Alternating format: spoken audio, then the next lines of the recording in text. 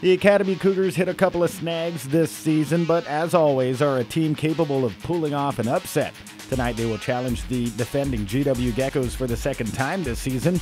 The Geckos dished out Academy's first loss of the season, but this time around, head coach Ray Mantegnoia seems fairly confident in the Cougars in the second round of the season.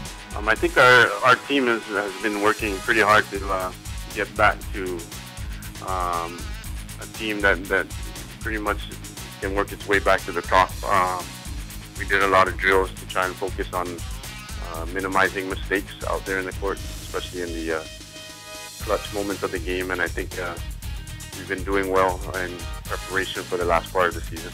Um, I think as far as strategy, I think we we have the strategy to, to make it to the top and um, and to play the top teams to, like GW. It's just a matter of um, actually going out there and uh, executing our plan. The George Washington Geckos, on the other hand, are still undefeated at 14 and 0 in a tour de force season. According to head coach Bobby Kanata, the girls are not only shooting for a fifth title, but a perfect season as well.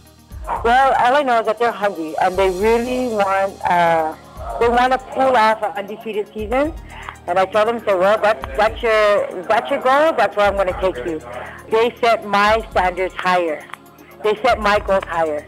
So as their coach, I am going to take them where they want to go. Well, if it's not broken, why fix it, right? Uh, that's my thing. But uh, it it all depends on what I see tonight, and I may I may change something, I may not. But uh, so far, uh, everything's been working all season long.